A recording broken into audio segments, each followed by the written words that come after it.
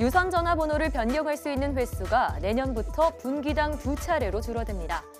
방송통신위원회와 한국인터넷진흥원은 유선통신 사업자들과 협력해 이런 내용으로 각 사업자의 이용 약관을 개정해 시행하도록 할 예정이라고 밝혔습니다.